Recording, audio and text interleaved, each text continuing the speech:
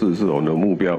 我如果当中中华民国的总统，产生中华民国第一位总理啊。国庆日前夕，民众党总统参选人柯文哲在抛国政政策，推内阁制，宣布七大主张，包括总统应到立法院报告，接受党团质询，总统任命阁回需经立法院同意。只是明年若三党不过半，意见分歧，阁回任命恐怕卡关。各党要学会如何妥协，所以过去那一种凶巴巴的哦。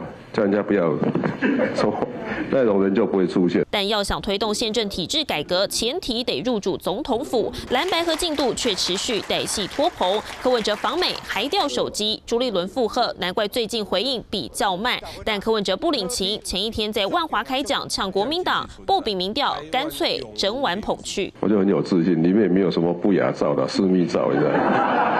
至于说那个联络管道，其实我跟你讲，幕僚之间每天都在，都常常有有在联络，这不是问题。在柯文哲主席要出国前，我有主动打电话，昨天晚上，甚至今天早上，我也多次联络，那可惜电话通了，啊就没有接。